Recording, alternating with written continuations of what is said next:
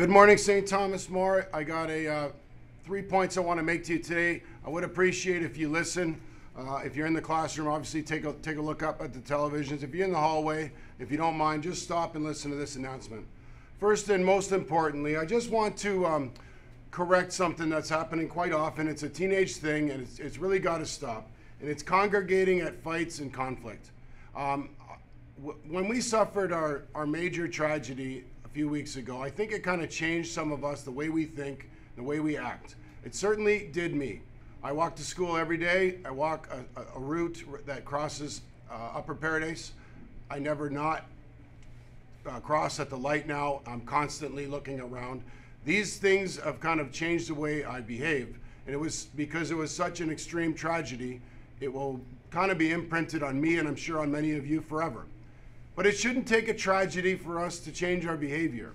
And I'm very concerned as this culture of having teenagers congregate at the first sign of a fight or conflict.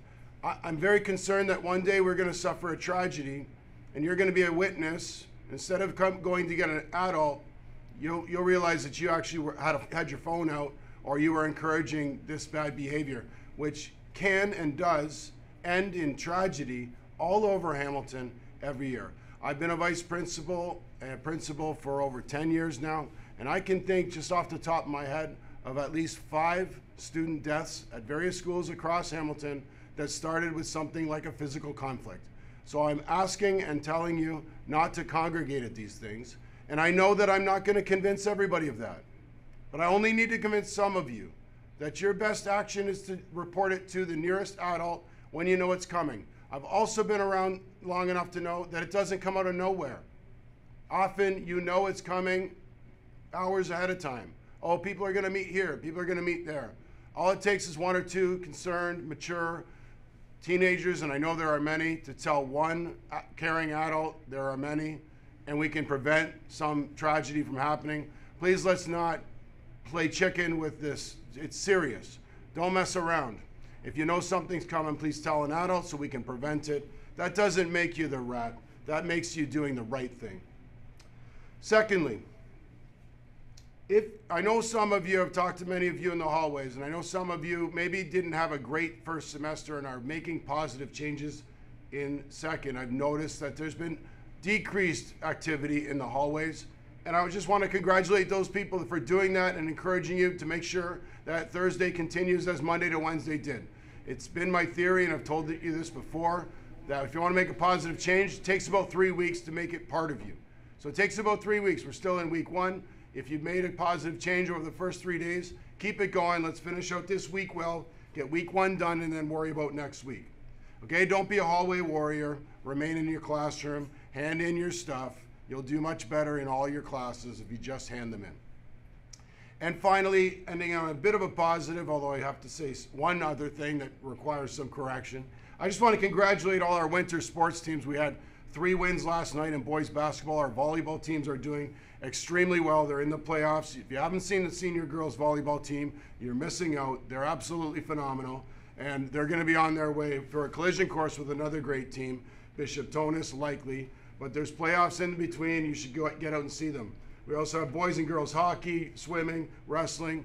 Uh, all the all of you people, I got to say, all of our athletes and our coaches, I appreciate all of them.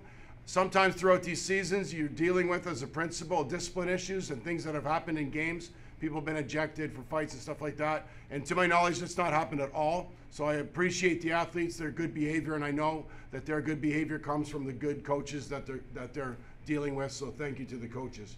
And finally, to the fans, uh, if you if you see me at games, I honestly love these big events, and I encourage you strongly to get out to these games. You'll be hearing more about them on these announcements. Pay close attention. Some of them are going to have limited seating, and if you miss out the tickets, just like some of you found out at prom, you're not going to be able to get there.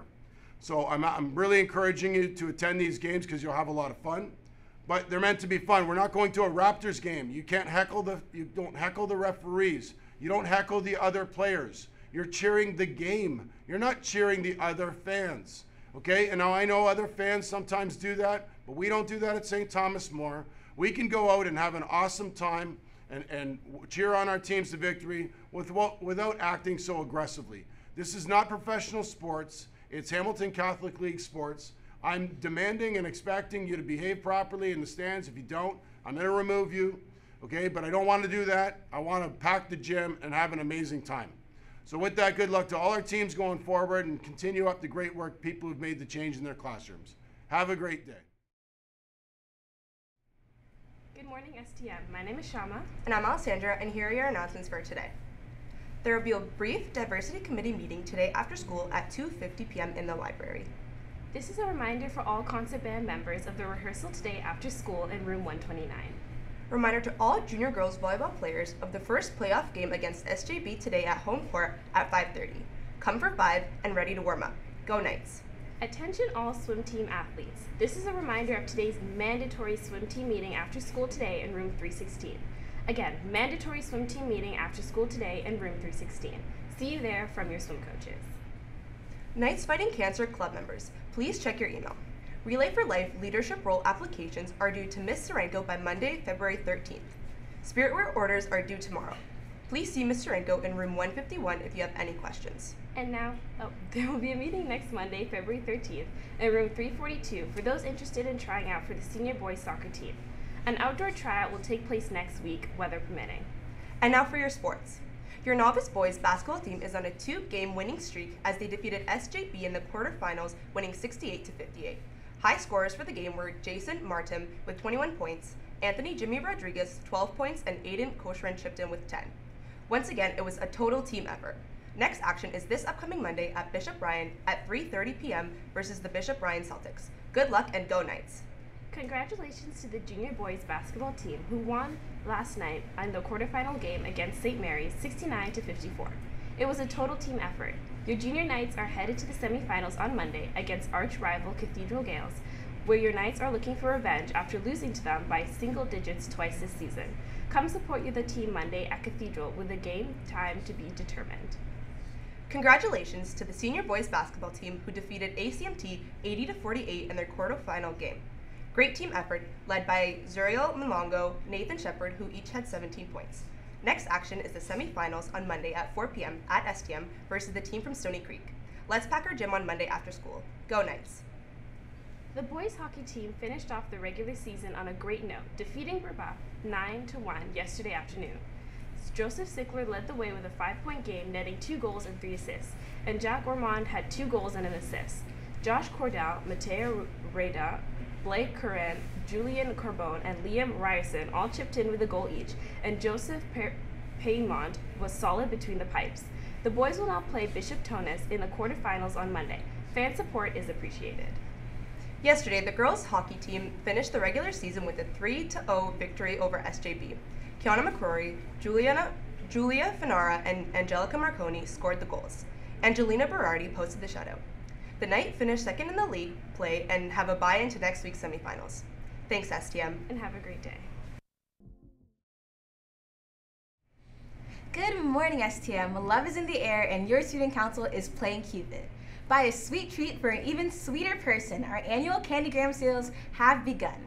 Candygrams will be sold during third and fourth period lunch for just $2. So, buy one for your friends. Buy one for your crush. Need a mark boost after last semester? Buy one for your teacher. And if you have no one to get one for, buy one for yourself because there is no love like self love. To buy a candygram, you must know the name and first period classroom of the recipient.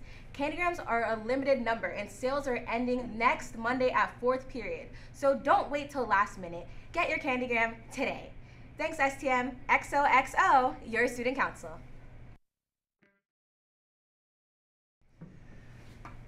STM, those are all of your announcements for today. The time is now 8:24, and remember, it's a great day to be a knight.